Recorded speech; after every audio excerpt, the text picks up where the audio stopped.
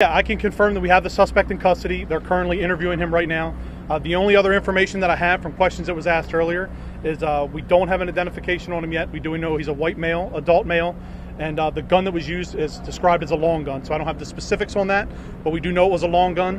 Uh, and as we continue to get information, we'll make sure that we Chief, continue to put that out. motive? There was no gunfire exchange between officers and the suspect. Uh, since we were able to get here very quickly, and just something for you guys to, to, to know, um, you know, we have uh, a, a unified training on how to respond to active shooters, and that's what made one of the major things that made this a huge success. We can confirm that five uh, have been are, are deceased, and uh, we're still working on injuries-free guys to get a good number. Uh, so we're, we're working on that, but it, it's estimated around three.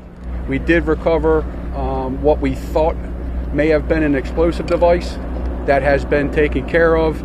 We have um, members of the uh, bomb squad on scene. We don't anticipate having any more explosive devices. Uh, I want to acknowledge the tremendous work of our public safety professionals today, particularly the Anne Arundel County Police Department, the Annapolis City Police Department, and the Anne Arundel County Sheriff's Office. They were on the scene in about 60 seconds.